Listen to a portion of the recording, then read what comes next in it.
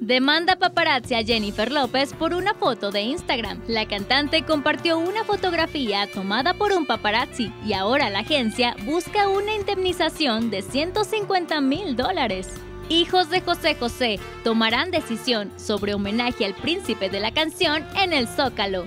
El homenaje previsto para José José el próximo 25 de octubre en la explanada del Zócalo de la Ciudad de México dependerá de los lineamientos que marquen Marisol y José Joel Sosa, hijos mayores del cantante, informó el secretario de Cultura de la Ciudad de México, José Alfonso Suárez del Real. Precisó en entrevista que a más tardar el 20 de este mes darán a conocer al elenco musical que participará, así como las características del evento. Mencionó que esperarán a que la familia se sienta más repuesta tras la muerte del príncipe de la canción para poder organizarse, pues considera que han sido días muy álgidos, pero con un final feliz. Al final de cuentas, porque parte de las cenizas del ídolo están en México. Destacó que los eventos realizados el pasado miércoles en el Palacio de Bellas Artes, la Basílica de Guadalupe y el Parque de la China y el Panteón Francés en esta ciudad convocaron a más gente de la que esperaban, todos fueron exitosos porque 15.000 personas se despidieron de él en el Palacio de Bellas Artes,